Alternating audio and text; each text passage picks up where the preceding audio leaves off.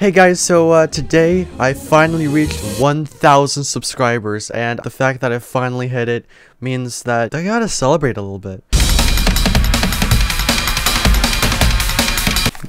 Enough. This video is basically just gonna be like the entire history of this channel and just go super deep into like how I got into this whole video making thing. Alright, so back when I was like really, really, really young, I had always loved just to open up the camera application and just take videos. This. Oh, I almost stopped it. This. I don't know why I liked doing that, I guess it's just me. Check it out. That's how to make a one. But even when I was two years old, you know, I was messing around with the camera on my iPod Touch, and I've always wished that I knew how to edit videos. So around 2016, I got a new iPad, and that iPad mini actually came pre-installed with iMovie on it, and the first thing that I made was one of the trailers, and I made it back in December of 2016, and it is one of the first videos that I've ever put through an editing software of any kind. And this opened up a whole like range of possibilities for me because I couldn't do jump cuts before, because before I was doing transitions by literally covering the camera. So my mom actually has a YouTube channel called Jolly Rose 143 and I uploaded my first video on that channel six years ago. About one and a half years before I even made the channel that you're watching this video on right now. We stopped uploading to that channel like four years ago. That channel has been like mostly discontinued. I also have another channel which is my channel before I had my current channel and that channel was called Jolly Matthew 143. Oops, that's not good. so wrong.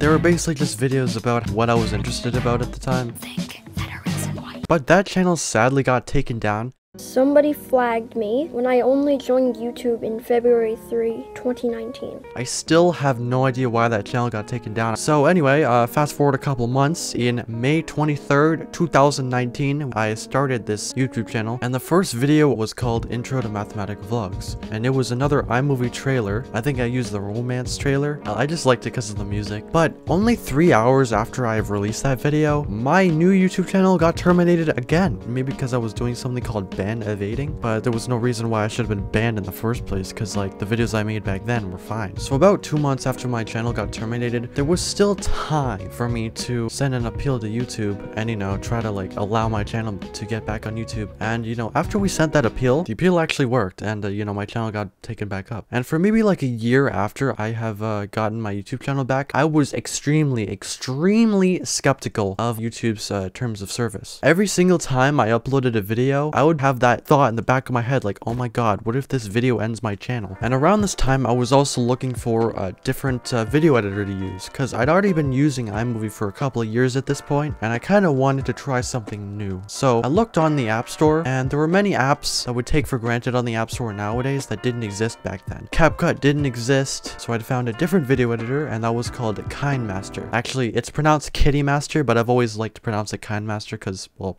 that's how it looks like it's spelled. If you go back to my old videos from like late 2019, you will find a couple of my videos were made with KineMaster. so, you know, my YouTube channel was doing pretty well. I hit 10 subscribers in the 9th of September 2019. Just a few weeks back, I was at 5. Now I'm at 10. I hit 20 subscribers on the 25th of October 2019. Thank you guys so much for 20 subscribers. And I hit 30 in the 15th of November. I finally reached 30 subscribers. So things were going pretty good. Now it took me a while to get to 40 subscribers, but at that point we were in the COVID-19 pandemic, and I'm sure everyone remembers the pandemic. The COVID-19 pandemic was a real struggle for a lot of people. And you know, back in March of 2020, we originally thought that this whole lockdown was only going to be a couple weeks. It ended up lasting literally one and a half years. And because I had a lot of free time on my hands, I could start pushing myself to improving my video editing skills once again. Thank you so much for 40 subscribers. And I decided that I wanted to start using my computer for video editing. Using your computer for video editing leaves more options for video editing software, even free video editing software. And around that time, I found a video editing program called DaVinci Resolve 16.2. And I also began using my actual DSLR camera, which is a Canon Rebel T3i. So when the 3rd of April 2021, almost three years ago now, I hit 100 subscribers. I wanted to say a big thank you for 100 subscribers subscribers. I'll leave the video right up here. Like ever since I think mid 2020, I've lost motivation for YouTube just because how slow my subscribers were increasing. I think I would get like 50 subscribers a year and I would hit 150 subscribers in the 22nd of March 2022, which is almost one year later, which is insane. But in April 2023, I made a video that would change everything.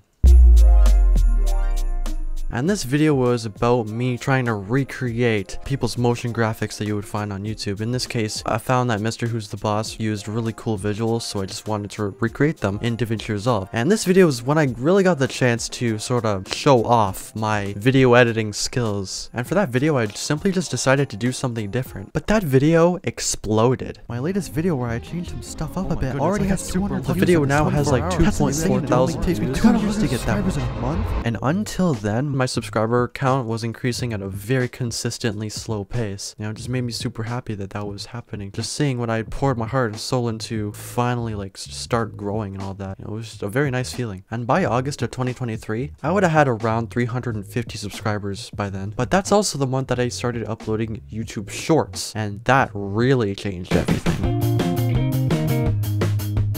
Now, I've heard people say that YouTube Shorts is a gold mine when it comes to subscribers and views. And if you don't know what YouTube Shorts are, it's a completely different format of video. It's vertical, and it's only limited to around 60 seconds long, so you have to explain everything quickly. It is a lot easier to push these videos out than normal long videos, because well, long videos take a longer amount of time to make. So then I started uploading YouTube Shorts. I uploaded the first one, I uploaded the second one, and then I uploaded the third one, and the third one got 3.4 thousand views within the first day, which is absolutely insane to me. So that's when I knew, hmm, YouTube Shorts really is a gold mine. And then just a couple days ago, I finally hit a thousand subscribers after, you know, after almost five years of grinding. So, um, yeah, I hope you enjoyed this video. If you loved it, please subscribe. This video, oh my goodness, an hour and five minutes of recording time. I'm actually surprised that my battery and my camera is still going. But uh, yeah, I hope you enjoyed this video. If you loved it, please subscribe. And I'm going to see you guys in the next video. My channel is growing. It's growing.